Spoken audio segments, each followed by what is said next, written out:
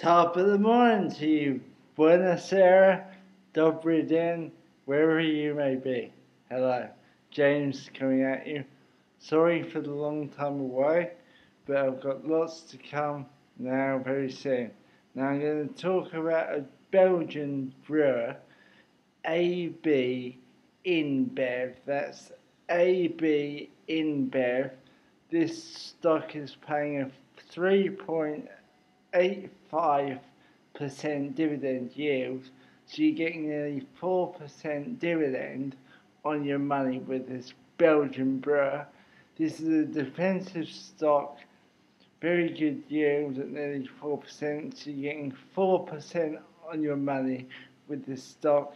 AB InBev NV, and the ticker for this stock is ABIBB. Paying 3.85% dividend yield. This is a brewer, a drinks and liquor company manufacturer, very defensive, makes money every day.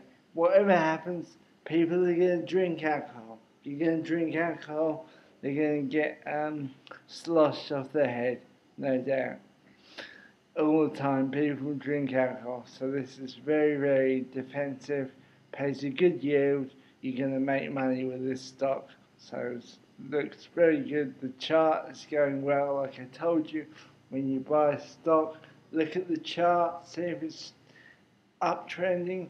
Why do you want to buy a stock if it's going down?